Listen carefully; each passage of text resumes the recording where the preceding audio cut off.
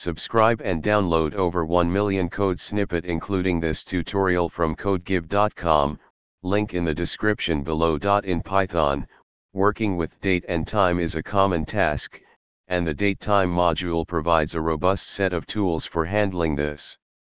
Sometimes, you may have a datetime string, and you want to extract only the date part from it. This tutorial will guide you through the process of getting the date from a datetime string using Python.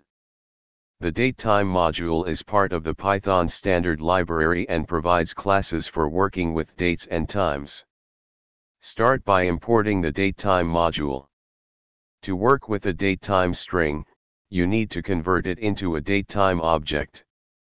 You can achieve this using the datetime.strptime method, which stands for string parse time. This method takes two arguments, the datetime string and a format string that specifies how the datetime string is structured. In the example above, the format string %y-m-%d%h%m%s corresponds to the structure of the datetime string.